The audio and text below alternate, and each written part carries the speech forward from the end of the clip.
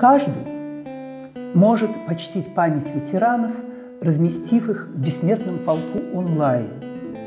В этом году я размещу в онлайн-шествии портрет моего мужа Василия Семеновича Ланового, потому что делом всей его жизни и его творчества, и, главное, его совести была защита памяти погибших, подвига страны и ее героев.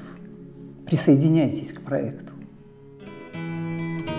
Для этого нужно зарегистрироваться на сайте 2021.polkrf.ru, загрузить фото вашего героя, информацию о нем, и после прохождения модерации он встанет в строй бессмертного полка онлайн. Вместе мы сохраним память о героях.